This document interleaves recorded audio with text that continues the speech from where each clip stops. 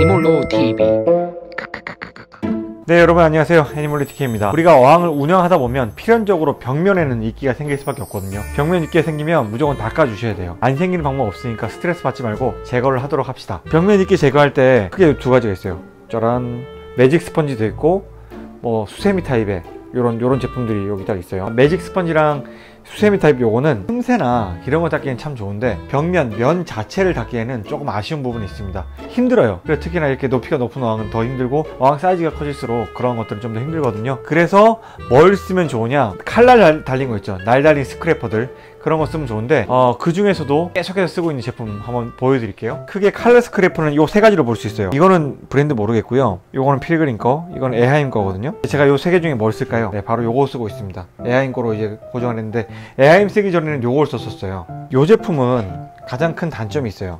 아예 이게 휘어지지가 않거든요.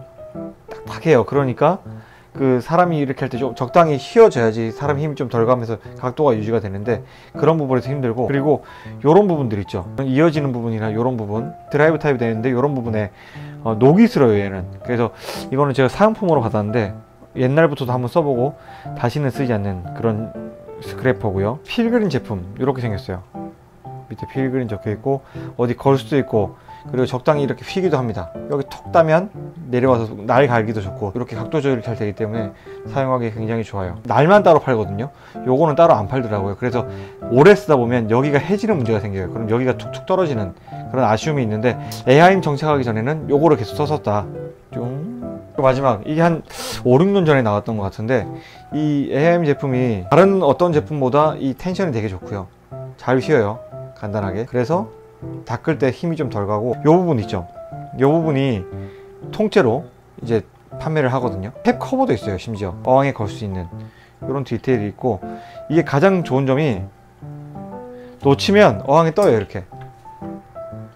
보이시죠? 그래서 놓쳐도 그냥 잠시 딴 거 할 때 놔도 돼요. 이런 제품은 그대로 가라앉는다는 거.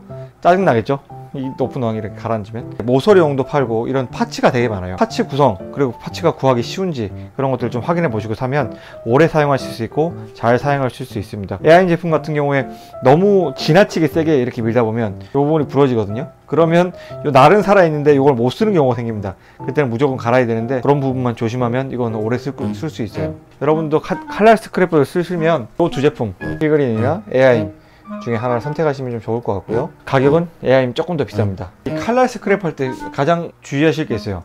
이런 대각선 방향. 이렇게 하시면 여기 기스 생기거든요. 기스가 막 생겨요. 그리고 여기에 만약에 이제 바닥까지 내려가서 작은 미세한 돌가루들 바닥재들 묻잖아요. 그걸로 하면 그대로 끓기거든요. 그런 거 하니까 항상 이렇게 털어 주시면서 하셔야 돼요. 또 세로로 위아래로.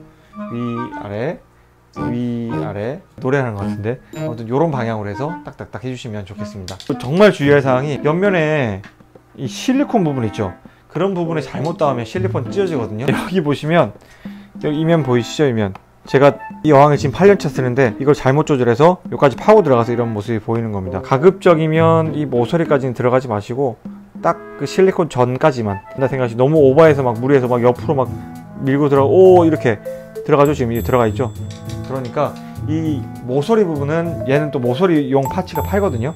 그래서 그거를 사시던지 아니면 아까 제가 말씀드린 매직 스펀지나 어, 수세미 타입의 그런 걸로는 모서리 이런 작업을 해주시면 되겠습니다. 여러분들이 마지막으로 요, 요거 뭐 놓치시는 분들 많은데 안쪽만 닦을 게 아니라 어항은 여기 키친타올 같은 거 이용을 해서 물 살짝 붙인, 묻힌 다음에 바깥쪽도 닦아줘야지 완성이 됩니다. 그거 닦아주시면 확실히 쨍해지니까 닦아주시고 요런 면들 있죠? 요 면들 요 면들도 이렇게 마무리해 주시고 안쪽에 이렇게 쭉 닦아주시면 전면 같은 경우 굉장히 깨끗하게 보실 수 있거든요. 제 나름의 어항 벽면 습기 제거하는 그런 팁이었습니다. 궁금한 거 있으시면 또 댓글 달아주세요. 그럼 전 이만. 안녕